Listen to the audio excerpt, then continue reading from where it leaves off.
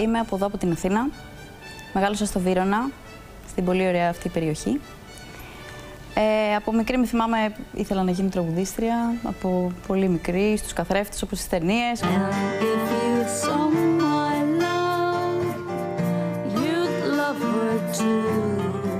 Ε, τον τελευταίο καιρό είμαι σε ένα μεγάλο σχήμα, τους Transformers, που κάνουμε έτσι μεγάλα trash party, γι' αυτό και το Transformers.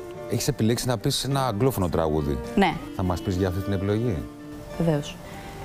Γενικά, εμένα μου αρέσει πάρα πολύ η ξένη μουσική. Δεν συμπαθώ ιδιαίτερα τα ελληνόφωνα τραγούδια και γενικά γράφω μόνο στα αγγλικά. Ε, θα ήθελα να πω ότι αυτό το κομμάτι πραγματικά το δουλεύω πάρα πολύ καιρό. Το δουλεύω δύο χρόνια. Στοιχουργικά ίσως και παραπάνω. Ε, είναι κάτι πολύ εσωτερικό και πολύ όμορφο, το οποίο το έχτισα σιγά σιγά και βγήκε αυτό το αποτέλεσμα που βγήκε.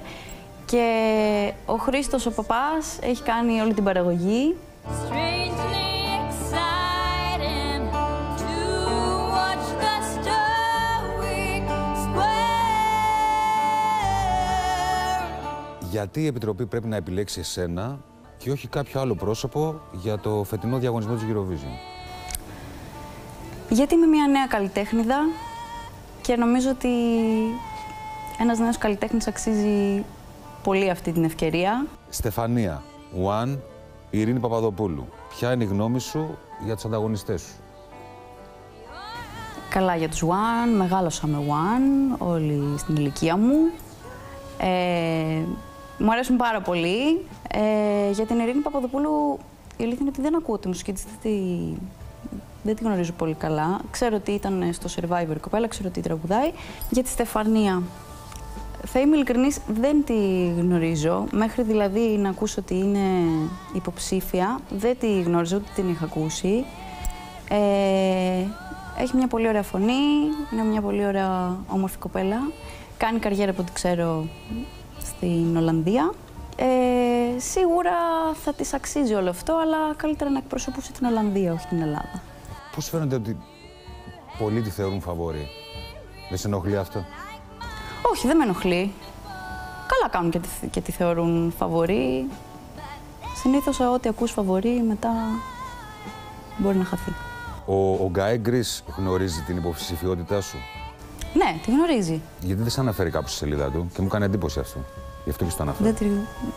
Όχι, δεν νομίζω. Επειδή είναι πολύ πρόσφατη η υποψηφιότητά μου, μπορεί να μην έχει γίνει κάποια σχετική ανακοίνωση ακόμα. Ποιο τραγούδι από διαγωνισμό της Eurovision σου έρχεται αυτή τη στιγμή στο μυαλό; Ρουσλάνα. Ποια ελληνική συμμετοχή στο διαγωνισμό της Eurovision θεωρείς ως την καλύτερη ever; Ε, το number one, ποιο άλλο; Το αμέσως επόμενο τραγούδι που σου έρχεται στο μυαλό από το number one; Το shake it. Αγαπημένος τραγουδιστής, Freddie Mercury. αγαπημένος τραγουδίστρια, Lady Gaga. αγαπημένο συγκρότημα, Queen. αγαπημένος στίχος, ρεφρέν; Yes, there are toothpasts you can go by, but in the long run.